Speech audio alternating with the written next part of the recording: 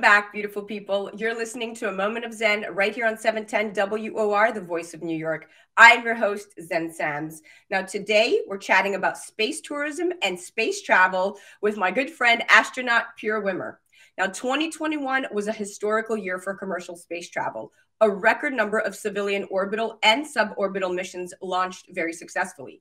Elon Musk's SpaceX launched four amateur astronauts into Earth's orbit for the first time. A Russian film crew spent 12 days on the International Space Station shooting the world's first movie in space. And two multi billionaires flew to the edge of Earth's atmosphere as the first passengers of their respective space companies to show the public that their new spacecrafts are safe and fun. And as with everything in its early stages, space tourism today is unattainably expensive. Although demand appears to be strong enough to keep existing companies in this market busy for several years. But eventually, as technology matures and more companies enter the industry, prices will hopefully go down. Going to space in the future will be more like picking a trip to Europe. This past summer, Virgin Galactic's founder, Sir Richard Branson, became its first passenger and flew to the edge of Earth's atmosphere in a VSS Unity Spaceship 2 spaceplane, along with two pilots and three Virgin Galactic employees. A pioneer in the space tourism industry, Virgin Galactic began selling seats in 2013 at $250,000 apiece. By the time it halted sales in 2014, after a test flight failure, the company had collected deposits from more than 600 aspiring customers.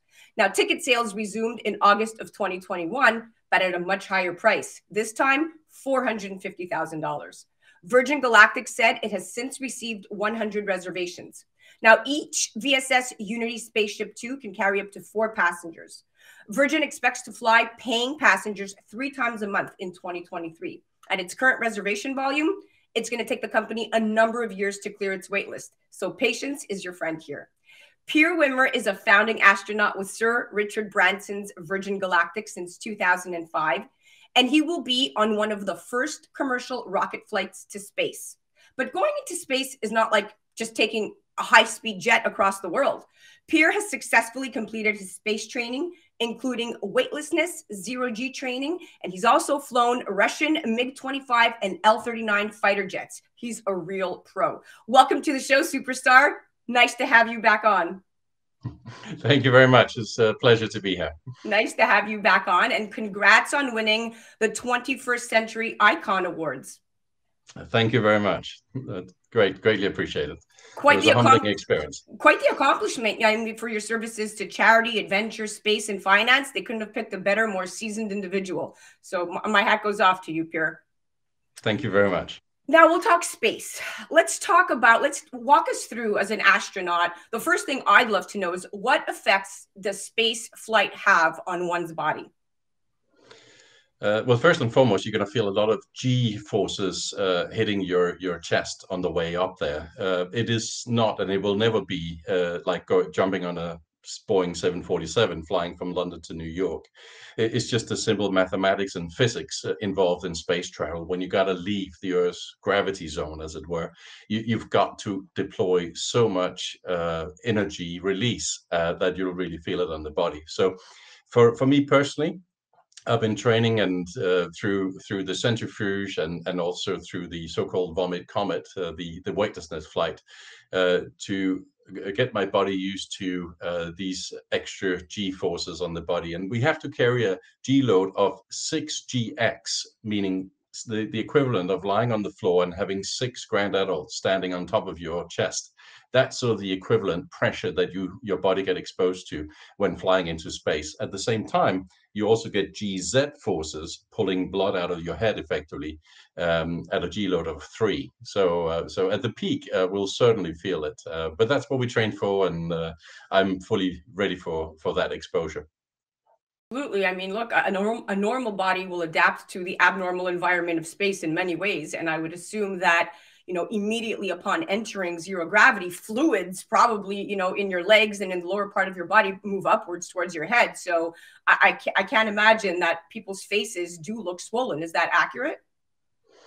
Um, yeah, they can, depending on on what part of the uh, of, of the space flight you're at. Uh, certainly, uh, you can go into a situation where you get more blood in your head, uh, and other times you get less blood in your head. Um, like I said, when, when you go into space, you, you're sort of putting negative GZ, so blood will will flow out of your head. And the, and the key thing here is to stay uh, stay awake, stay fresh. Uh, and and we as astronauts learn certain um, uh, training exercises to effectively try to block the uh, the blood circulations in order to keep as much blood up in in, in the head compartment as it were um, as much as possible. We also do that when you fly fighter jets. So you you referred to my uh, MiG 25 and L39s flight. Um, particularly the L39s, we do a lot of acrobatics. Um, those are particularly good exercises uh, getting used to G forces and, and how to handle it. And it's also good to know before you go to space how much your body can can handle and when to level up, etc. Oh yeah, beautiful stuff. This is very fascinating. Um, my next question is: What should one study in school if they want to become an astronaut? I think first and foremost, you should, um, you know, if that's your dream to go into space, then fight for it, work for it, put all your passion and, and heart into it, and you will succeed one way or another.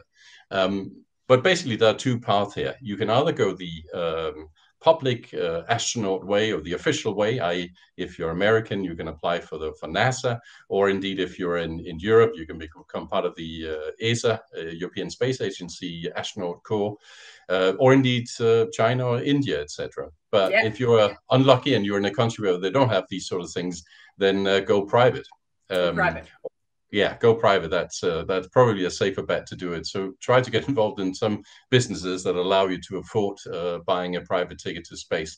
Good news is, I think over time these will become cheaper. Um, you mentioned the prices at the intro; those are not for everybody. But over time, and give it another five to ten years, those prices will come down. Like any other private industry, you get more competition, more offerings, a high end, a low end, etc and uh, who knows um, you might just get your chance to go into space. There you go. Now one worrying side effect of space exploration is that we might end up making as much of a mess of the rest of the universe as we have done of our own home planet. And it's estimated that there are already up to 8,000 tons of debris from previous space missions and now um, defunct satellites floating in Earth's orbit.